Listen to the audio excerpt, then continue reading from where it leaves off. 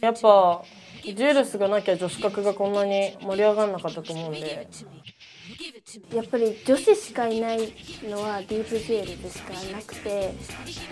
女性だけの特有のものが見せれるかなって。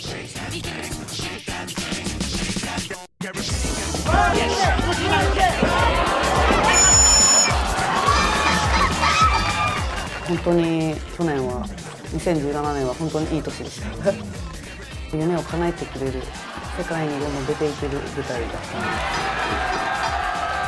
たジュールスがなきゃ女子格がこんなに盛り上がんなかったと思うんで、まあ、やっぱ大会では負けれないし負けたら示しつかないんで。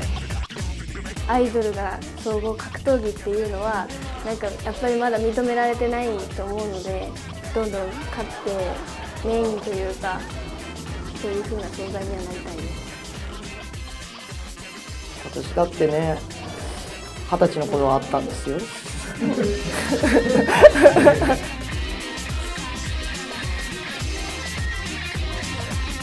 タイミングとかもう全部含めてあなんかあ私のためのタイトルマッチだなって感じ。ですはいサラミが中心。純粋に強いものが上に上がっていく場所だと思ってます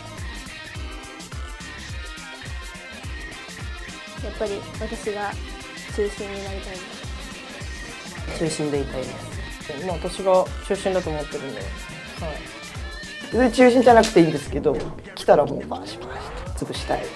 40歳のチャンピオンが。サラミが女子格闘技の中心です。間違いない間違いない。